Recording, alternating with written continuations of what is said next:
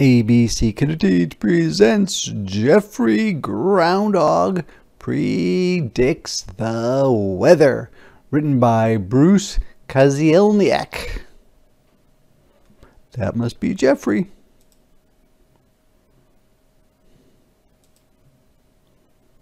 Hmm, that must be where Geoffrey sleeps, and that's a burrow, and it says, Do not disturb.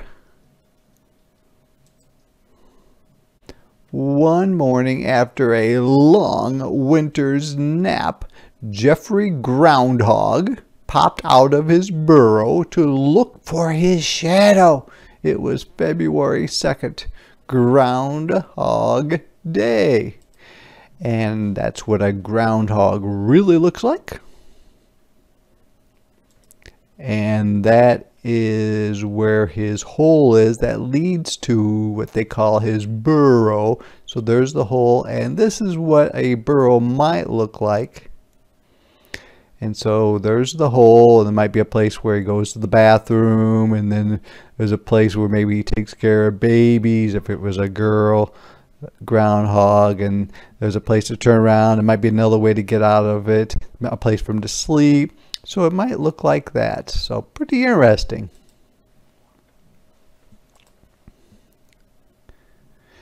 Geoffrey remembered what his mother had told him. If you see your shadow on Groundhog Day, go back to sleep because winter will last six more weeks. If there is no shadow, spring will soon be here. And her little sign says, home in the ground, sweet home. So she's telling him how to predict the weather.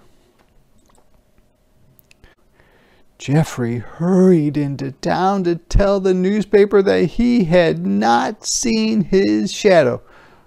So, no shadow, and spring is almost here. Is that it?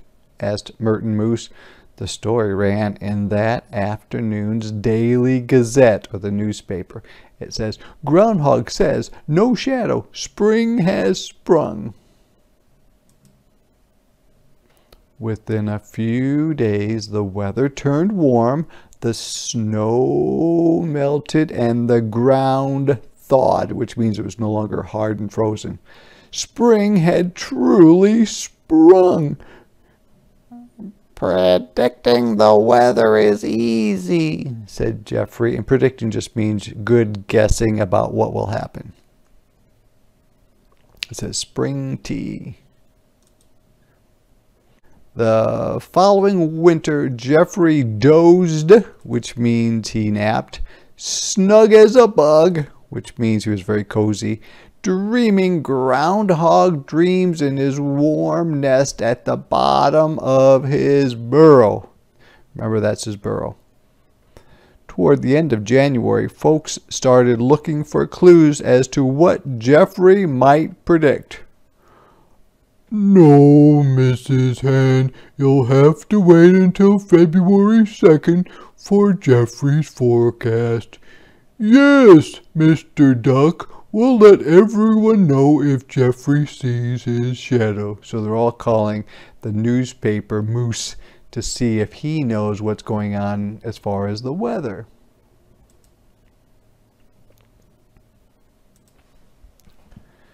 As Groundhog Day drew near, television cameras and lights were moved into place around Geoffrey's burrow. This year, everyone would be able to watch the biggest, groundhoggiest Groundhog Day ever. Hmm, I wonder if that's going to cause a problem, them shining all the lights, because if there's a lot of lights, there's probably no, yes, there may not be any shadow because the lights make it so that there's no shadow, maybe. And here's some of the signs. Spectacular Groundhog Day sale. Big, big Groundhog Day special. Big rock bottom prices, which means very cheap. Geoffrey's handsome picture had been popping up all over town. Groundhog Watch. Groundhogger's jogging shoes. Put extra spring in your step. And they really mean by spring bounciness in their step, but in this case, they're talking about Geoffrey predicting the springtime. And who's that in the Geoffrey G.H.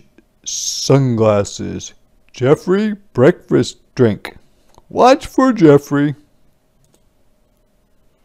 Bright and early on Groundhog Day morning, everyone waited for Geoffrey. Anybody seen that groundhog? One hour passed. Two hours passed. Three hours passed. Yet still no Geoffrey. Geoffrey! Hello, Geoffrey! called Merton. Are you home? So Merton is calling to see if Geoffrey is going to wake up. Is he going to wake up? Well, I would think so, yeah. I hope so. Oh no, I've overslept, groaned Geoffrey. And so he did not wake up when he was supposed to. He flew out of bed, dashed to his door, which means he crawled up really, really quickly. Hmm, is he going to see his shadow? Hmm, I don't know. I hope so. And made his appearance, which means he came out of his hole. Hmm, lots of light. And look like looks like he has sunglasses on, doesn't it? Geoffrey, Geoffrey, called Merton. What did you see? Was there a shadow? I don't know, cried Geoffrey. With all the cameras and lights and everybody crowding around, I could hardly see the ground in front of me, much less my shadow. Hmm. So it says Groundhog doesn't have a clue. I don't know what I saw, says Geoffrey. Was there a shadow? Weather picture muddled, which means it was unclear. Hmm. Now, things were really up in the air weather-wise, which means as far as the weather goes. Nobody knew whether to bring out the golf clubs or the snow shovel. No one knew whether to wax the skis or the surfboard. And no one had a clue whether to plug in the electric fan or the electric blanket. All weather reports were canceled. So they say, no more weather reports until Geoffrey makes up his mind. Geoffrey, this is causing major problems, muttered Merton, which means he said quietly, We need your prediction now. Oh, all right, moaned Geoffrey. I'll have my answer by this afternoon. It says, Hello, hello, no, we don't know what he saw. Hello, hello, no, we don't know what Geoffrey saw. So he's, Merton's having to answer the phone telling other people that Geoffrey hasn't told them what's going to happen. Geoffrey says winter six more weeks. so Geoffrey did figure out that winter's going to be six more weeks. Hmm, I wonder how he did that. Did he think he just guessed?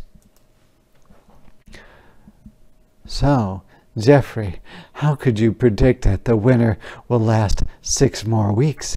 asked Rebecca Raccoon. No one was really certain if there was a shadow or not. Did you guess? Um, no, said Geoffrey. Did you make a study of how weather works? asked Sunny Squirrel. Nope, said Geoffrey. To be honest, I called my mom. On Groundhog Day, she always looks for her shadow, too. Phew, sighed Geoffrey. Predicting the weather is very tiring. I'd better get back to my nest for a nap. And that is exactly what he did. And it says, when shadows fall, sleep snug, sleep tight, don't let the bed bugs bite. Love, Mom. And that's a little sign he has up on his wall.